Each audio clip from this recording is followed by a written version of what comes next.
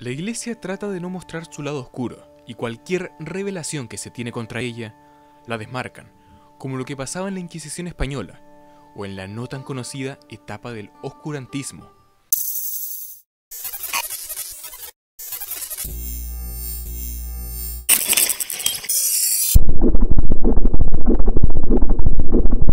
La Iglesia Católica prácticamente se había apoderado del mundo. Las torturas y castigos eran terribles para todo aquel que se atreviera a cuestionar no solo su ideología, sino también su poder. Y aquí justamente es cuando aparece el Papa Juan XII. Durante la Edad Media, la Iglesia no aprobaba ninguna práctica, entre comillas, antinatural, ni mucho menos el de la relación entre parejas por placer, ideología impuesta para la sociedad. Quien la incumpliera pasaba a ser castigado por la Inquisición. Los sumos pontífices hicieron oídos sordos a esto. El célebre celibato sería ignorado. Es así como se identificaría a cientos papas fetichistas, homosexuales, lo cual no es ningún problema, pero es contradictorio porque ellos mismos lo condenaban. E incluso algunos que cometieron incesto. Quizás pienses que estos dichos se inventaron para culparlos posteriormente, pero no, porque ellos admitieron estos hechos, culpando a las mujeres o diciendo que en época de guerra la única manera de deshacerse del sentimiento de derrota era con el sexo. Según registros, tenían orgías, reuniones sexuales y un montón de perversiones que la historia la pasó a llamar pornocracia.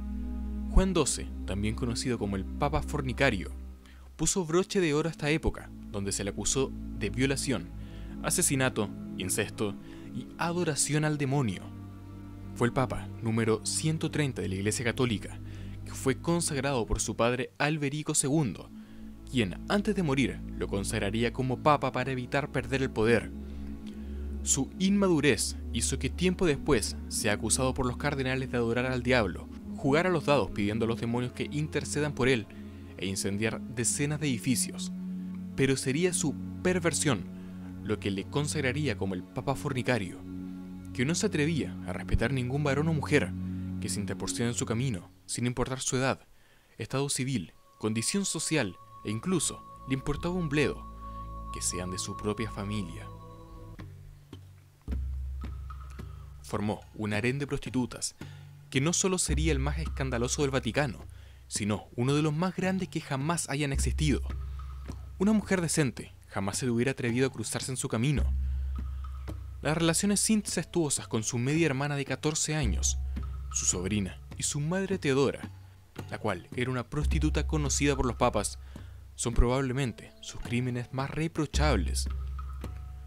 Tal fue el jaleo que este papa armó que los gobernantes de la ciudad se vieran obligados a colocar letrero de advertencia sobre el peligro que recorrían las mujeres al acercarse a la iglesia a ciertas horas, dándole la categoría de un vulgar delincuente, casi convirtiendo a la iglesia en un lupanar barato. Y es que incluso los habitantes se veían perjudicados, dejándolos sin comida por caprichos de él. Debido a sus barbaridades cometidas por este personaje, el emperador Otón I se vio obligado a intervenir y convocó un sínodo para decidir la suerte de Juan.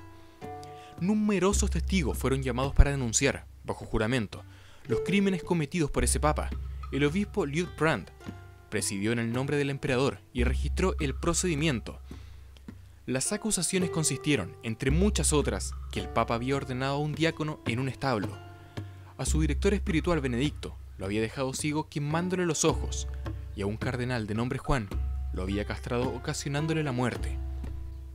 Posteriormente al sínodo, el emperador Otón I le había escrito una carta a Juan XII, la cual por su contenido constituye una de las más grandes curiosidades de todos los tiempos.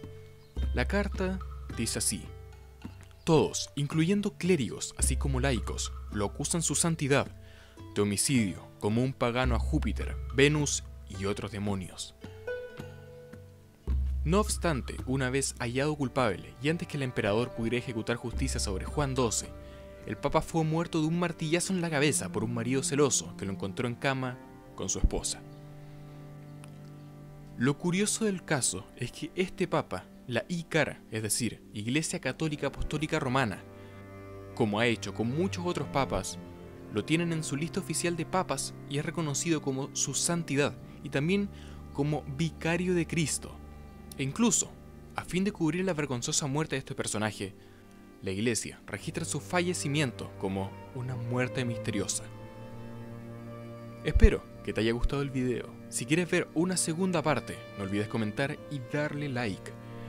Un saludo a todos, soy de Chris Alfaí. Adiós.